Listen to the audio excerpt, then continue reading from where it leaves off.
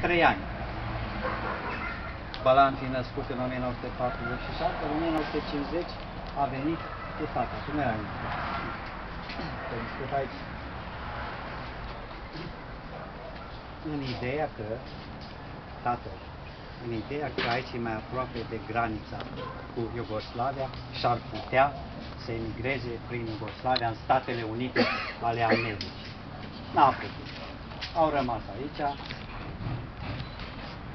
Copilul Bălan a crescut aici, a fost elevul școlii din Berlin și a mai urmat el niște școli la Liceul Silvic din Timișoara. N-a fost interesat, ca și Eminescu, n-a fost interesat să termine o școală uh, superioară.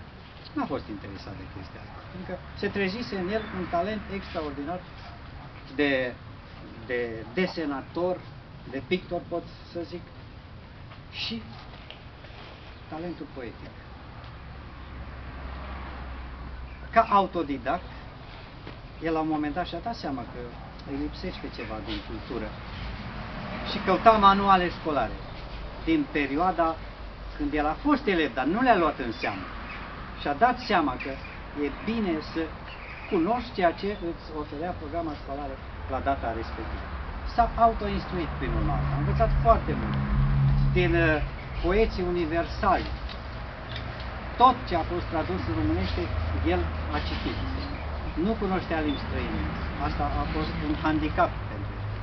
Dar în traducere, tot ceea ce a fost publicat la Univers, la cele mai frumoase poezii, la Minerva, alte edituri, el a citit. Și și-a făcut o idee de cam care este stadiul poeziei la data respectivă. Când l-a descoperit pe el Gabriel Liceanu la Gătaia, unde el se afla fiindcă a suferit o depresie psihică, iar Liceanu era acolo cu soția, nu pentru o asemenea cauză, ci fiindcă Rickman, directorul de, de acolo, la data aia, avea grijă să aibă un salon pregătit pentru oameni de cultură, filozofi, artiști, care vor să se odihnească în parcul frumos și mare de la Gătaia. Geo stătea pe o bancă și lucra la lucrări de genul ăsta și Liceanu se plimba pe alei. Se uită peste umărul lui și vede ce face ăsta. Se duce la nevastă sa, Aurora Lucianu, care ați mai văzut-o, cu care nu mai, n-am mai trăit Și hai să vezi ceva. Vine și aia, se uită și aia. Extraordinar.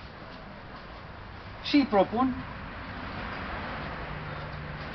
veniți cu noi la București și vom face o expoziție cu aceste lucrări și încercăm să publicăm și volumul de versuri în manuscris pe care îl avea,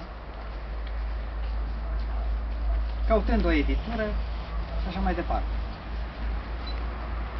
Și l-au dus la București.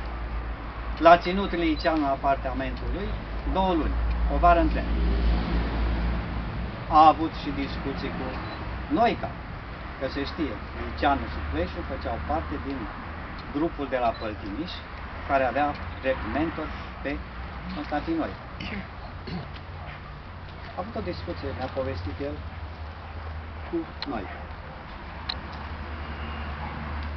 Geul al nostru, între timp, cât a stat la, la, la Gătaia, a descoperit, i-a descoperit cineva Biblia.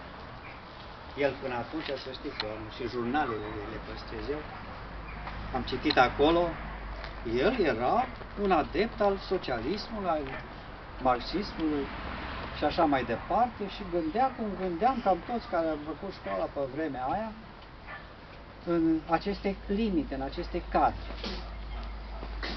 Când acolo a găsit pe cineva și i-a pus Biblia în mână și a spus cum trebuie citită Vechiul Testament și cu Noul Testament, să caute în Noul Testament, are o corespondență în Vechiul Testament, sau Noul Testament este umbra Vechiului Testament, sunt foarte legate acestea. El dintr-o dată a ajuns la o altă concluzie cu privire la artă. Concluzia lui era că din moment ce arta este o copie a naturii, cine copiază natura? Creația lui Dumnezeu. Cine o copiază? Satana. Dacă satana copiază prin arta, toată arta care există în lume, creația înseamnă că toată arta este satanică. Și în acel moment Geo a întrerupt o activitate creatoare, extraordinară, 17 ani, el n-a mai creat nimic din cauza acestei erori colosale, până când i-a deschis lui mintea o prietenă a lui, a mea și a lui Teo din America, Mariana Gligor din Belinț, care a spus că nu așa trebuie înțeles, înțeles învățăturile mesagerului lor, Brenham, de acolo din America, care ne învață pe noi, astăzi spunea Mariana, să ne dăm copiii la școală, să ducă la cinematograf, să ducă la teatru. Atunci el a avut o tresărire, o revenire, era cam târziu, dar a mai prins vreo 3 ani, 4 buni, în care a revenit la grafică, a revenit la poezie, a lăsat peste 250 de lucrări în posesia familiei, a lăsat al treilea volum de versuri, el publicase între timp două volume de versuri și după aceea boala uh, l-a făcut să nu mai poată crea și s-a sfârșit înainte de termen, zic, la 57 de ani, în 2013. Am vrut să nu treacă neobservat acest lucru, că sunt 10